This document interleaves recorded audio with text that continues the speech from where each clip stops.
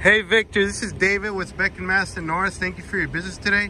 How was your overall experience today on your new purchase. Well, I cannot lie. Thanks, David. Um, this is an awesome purchase. Um, I really appreciate your help. You helped me out throughout the way. No messing around, just straight to the point. Uh, we got some numbers we wanted. Thank you very much for your service. Thank, thank you for your, thank you for your sir. Yes, sir. Anytime. Thank you. Congratulations, Thank you, thank Victor. you. Thank you.